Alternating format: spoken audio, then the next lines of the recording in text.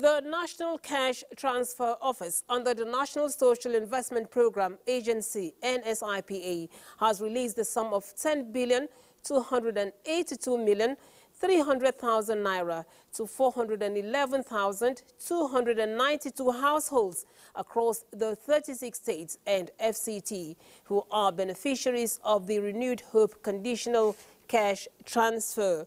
A statement by the National Coordinator CEO, National Social Investment Program Agency, Badamasi Lawal disclose that the fund is the second tranche of payments made directly to the beneficiaries' bank accounts nationwide. The renewed Hope conditional cash transfer under the National Cash Transfer Office is aimed at alleviating the sufferings of the poor and vulnerable Nigerians.